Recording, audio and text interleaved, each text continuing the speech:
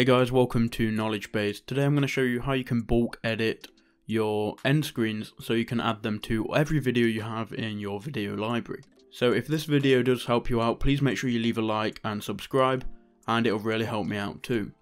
So the way you can do it is through a YouTube extension called TubeBuddy.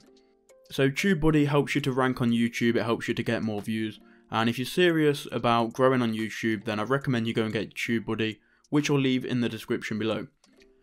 Now you need to download TubeBuddy and you need to go onto one of their paid plans and that's going to give you the bulk edit screen updates.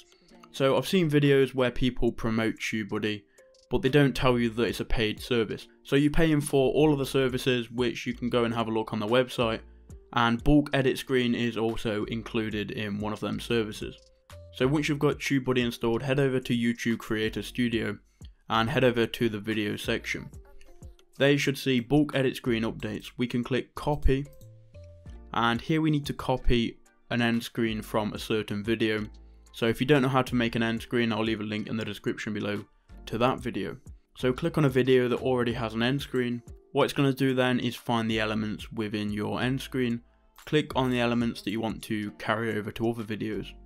Then click continue then to add it to every single one of your videos, you want to click the first one here which says I want to see a full list of all my videos. So click on that and then click continue and no matter how many videos you have, it's going to show all of them. Now to select all, just click here where it says select and then click all. And that's going to select all the videos in your video library. Then you can click continue and then continue with bulk copying it's going to tell you how many elements you're copying to how many videos. Then click start copying. Now you can just sit back and wait for TubeBuddy to do its thing. So now everything's been completely copied. Now you can click close and all of the end screens are going to be on every single one of your video.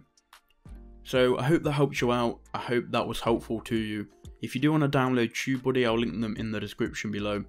Go and check them out and if you're serious about growing on YouTube, you really do need it and it is a great extension to have. Thanks for watching and I'll see you in the next one.